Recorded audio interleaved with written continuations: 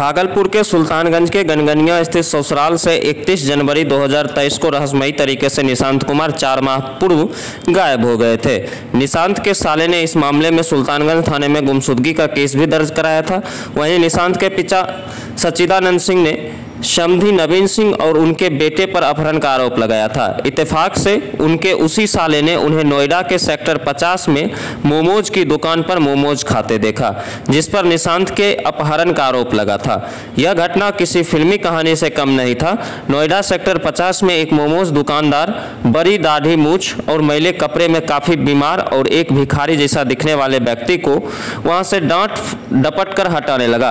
तभी उसके साले की संवेदना जगी और उसने कहा, गरीब है, इसे मोमोज खिला दो, पैसे मैं दे दूँगा। इसी दरमियान उससे जब नाम पूछा तो सारी बातें सामने आई और उसने अपना नाम निशांत और पता ध्रुवगंज नवगछिया बताया।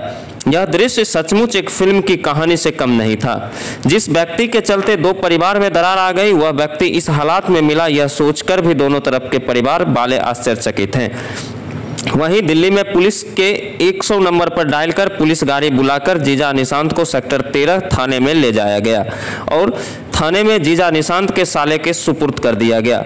वहीं दिल्ली पुलिस ने अपनी तत्परता दिखाते हुए कई महीने से गायब निशांत को सुल्तानगंज थाने लाकर सुपुर्द कर दिया, जहाँ आज भागलपुर कोर्ट में उसकी पेशी है। कोर्ट में उससे यह पूछताछ की जाएगी कि आखिरकार आपके साथ अपहरण हुआ था या फिर कैसे आप दिल्ली पहुँचे।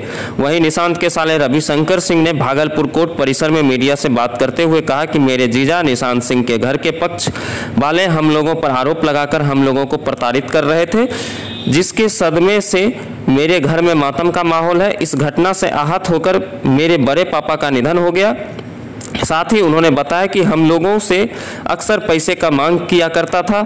हमें उम्मीद है कि न्यायालय हम लोगों को मदद करेगी और दोषियों पर विधिवत कार्रवाई करेगी। बीटी न्यूज़ बिहार के लिए भागलपुर से बाल मुकुंद कुमार की रिपोर्ट। किए थे आ, हम अपनी बहन का जो शादी किए इसमें बहनोई जो है बीच में गायब हो गए थे। समारोह में हमारे यहाँ आए थे गायब हो गए उसके कारण जो है इनके पिताजी के द्वारा हमारे ऊपर हमारे पूरे परिवार के ऊपर गलत गलत तरीके से आरोप लगाए कि ये आप लोग के द्वारा जो है अपहरण किया गया। और उसमें फिरौती मांगा गया कि भाई गलत गलत तरीके से आरोप लगाए जिसके जिससे हमारा पूरा परिवार मानसिक रूप से अस्वस्थ रहा। उसके एवज में हमारे बड़े पापा जो हैं गुजर गए। इसी मानसिक पीड़ा के कारण। और ये गलत गलत तरीके से अफवाह मीडिया में खास करके जिस तरीके से बयानबाजी किए उसका तो होगी हमारा पूरा परिवार रहा जिसके कारण मेरी बहन का रिश्ता छोटी बहन का और उनका ये पेशा है। आज आपके बहनोई कहाँ मिले? कहाँ मिलेंगे ये? पाँच महीने के बाद जो है दिल्ली में नोएडा सेक्टर 50 में मिले हैं। और ये वहाँ पे भीख मांगते मिले।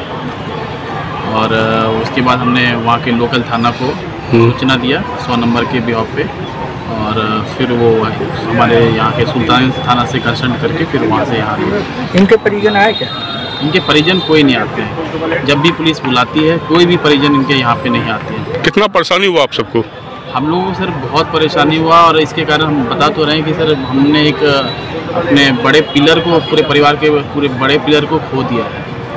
इसका भुक्तभोगी हम लोग बने हैं और जिसका गलत गलत ये हमेशा से करते आ रहे हैं ये अपनी छोटी सिस्टर के साथ भी ऐसा ही किए थे। मतलब ये अपनी छोटी वाली बेटी के साथ। किस तरह का आदमी है ये? पूरी तरीके से हम तो समझते हैं पूरा फ्रॉड आदमी है। और ये पैसे का जो लेन देन ये करते हैं ये हमारे साथ भी सेम वैसा ही कर रहे हैं जो अपनी बेटी के साथ किए। इससे पहले ये अपनी बेटी के साथ किए और अब वो वो हम साथ की कोशिश किए और ये अपने बेटे के कारण बेटे के से अपहरण का जो है मामला हमारे ऊपर चिपका रहे थे क्या चाहते हैं आप? हम न्याय चाहते हैं बेसिकली बोले तो हम न्याय चाहते हैं और हम चाहते हैं न्यायालय हमारा मदद करे इसमें क्योंकि साधारण सजा मिले। और फ्रॉड को ज़्यादा से ज़्यादा सज़ा जल्द से जल्द सज़ा मिले। मेरा तो यही मांग है साहब। क्या नाम आपका? मेरा नाम रविशंकर सिंह है। आपको नहीं हम इनके साला हुए